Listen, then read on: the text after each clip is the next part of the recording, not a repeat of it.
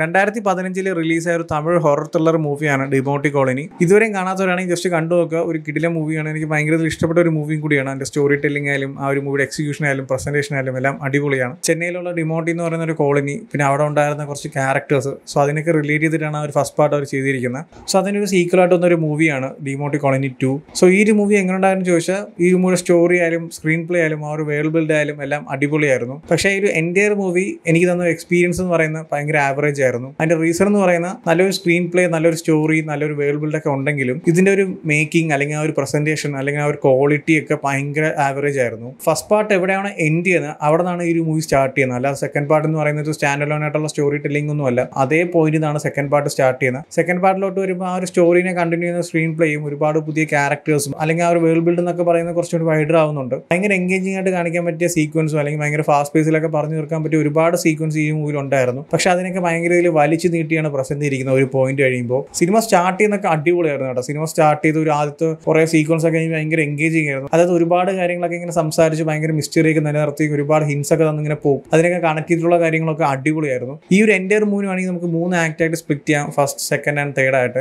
First act ചെയ്യാൻ നേരത്തെ പറഞ്ഞ പോലെ തന്നെ ഭയങ്കര എൻഗേജിങ് ആയിട്ടാണ് ഒരു മൂവി സ്റ്റാർട്ട് ചെയ്യുന്നത്. ഒരുപാട് ഹിൻസും ഒരുപാട് മിസ്റ്ററീസ് ഒക്കെ നിലനിർത്തി അടിപൊളിയായിട്ട് തന്നെ സിനിമ സംസാരിക്കുന്നുണ്ട്. പക്ഷെ ആ ഒരു സെക്കൻഡ് ഹാഫ് എന്നൊക്കെ പറയുന്നത് ഭയങ്കര രീതിയിൽ വലിച്ചു നീട്ടുന്ന പോലെയാണ് എനിക്ക് ഫീൽ ആയത്. അതായത് ഒരു പോയിന്റ് കഴിയുമ്പോൾ നമ്മൾ ഫസ്റ്റ് പാർട്ടിലിപ്പം കണ്ടിട്ടുള്ളവരൊക്കെ അറിയാം. എന്റെ സ്റ്റോറി നടക്കുന്ന ഒരു ബിൽഡിങ്ങിന്റെ അകത്താണ് ഒരു റൂമിന്റെ അകത്താണ്. സോ അതുപോലെ തന്നെയാണ് ഈ ഒരു സെക്കൻഡ് പാർട്ടിലോട്ട് വരുമ്പോഴും ഒരു മെയിൻ സ്റ്റോറി നടക്കുന്ന ഒരു റെസ്റ്റോറന്റിന്റെ അകത്താണ് ചൈനീസ് റെസ്റ്റോറന്റ് അകത്താണ്. സോ ആദ്യമൊക്കെ അത് നൈസ് ആയിരുന്നു. ആ ഒരു കാര്യങ്ങളൊക്കെ നൈസായിട്ട് സംസാരിച്ച് പോകുന്നുണ്ട്. പക്ഷെ പിന്നീട് അങ്ങോട്ട് പോകും തോറും ഇത് അവിടെ തന്നെ സ്റ്റക്ക് ആവുന്നുണ്ട്. അതായത് ഭയങ്കര രീതിയിൽ വലിച്ചു നീട്ടി പെട്ടെന്ന് പറഞ്ഞു തീർക്കാൻ പറ്റിയ അല്ലെങ്കിൽ നമുക്ക് മനസ്സിലാവും ഓക്കെ അടുത്ത് ഇങ്ങനെ ആയിരിക്കും അല്ലെങ്കിൽ ഈ ഒരു സീൻ ഇങ്ങനെ വരത്തുള്ളൂ എന്നൊക്കെ നമുക്ക് അറിയാം. പക്ഷെ അതിനെ വലിച്ചു നീട്ടി ഒരുപാട് ടൈം എടുത്ത് ഭയങ്കര സ്ലോ ആയിട്ടൊക്കെയാണ് കാണിച്ചിരിക്കുന്നത്. സോ അതുകൊണ്ട് തന്നെ ആ റെസ്റ്റോറന്റ് സീക്വൻസ് അല്ലെങ്കിൽ ആ സെക്കൻഡ് ഹാഫ് തുടങ്ങിയതിന് ശേഷമുള്ള കുറച്ച് സീക്വൻസ് ഒക്കെ ഭയങ്കര ലാഗ് ആയിരുന്നു. എനിക്ക് അങ്ങനെയാണ് ഫീൽ ചെയ്തത്. കാരണം ആ ഒരു ഫസ്റ്റ് ഹാഫ് അല്ലെങ്കിൽ മൂവിയുടെ സ്റ്റാർട്ടിംഗ് എന്നൊക്കെ പറയുന്നത് ഭയങ്കര എൻഗേജിംഗ് ആയിട്ട് ഭയങ്കര ഹിന്റും ആ ഒരു മിസ്റ്ററി ഒക്കെ തന്ന് നമുക്ക് ഇങ്ങനെ കണക്ട് ചെയ്ത് കണക്ട് ചെയ്ത് പോയിട്ട് അതിനൊക്കെ ടോട്ടലി ഡൗൺ ആയിട്ടുള്ള രീതിയിലാണ് ആ ഒരു മൂവി പ്രസന്റ് ചെയ്തിരിക്കുന്നത് ആൻഡ് ഇമ്പോർട്ടന്റ് ആയിട്ടുള്ള ഒരുപാട് കാര്യങ്ങൾ സംസാരിക്കുന്ന സീക്വൻസ് ഒക്കെ പറയുന്നത് സി ജെ മിക്സ് ആണ്. ആൻഡ് ഈ ഒരു മൂവിയിലെ സി ജി എന്നൊക്കെ പറയുന്നത് ഭയങ്കര ശോകമായിരുന്നു അതായത് നമ്മളിപ്പം ഇൻസ്റ്റയിൽ റീൽസും അല്ലെങ്കിൽ യൂട്യൂബിലൊക്കെ കാണുന്ന കുറേ ഗ്രീൻ സ്ക്രീൻ വീഡിയോസ് അല്ലേ അതുപോലെയാണ് എനിക്ക് ഫീൽ ആയത്. ആ ഒരു മൂവിയിലെ ഒരു ഇമ്പോർട്ടന്റ് ആയിട്ടുള്ള സീക്വൻസ് കാണിക്കുന്ന സ്ഥലമുണ്ട്. അവിടെ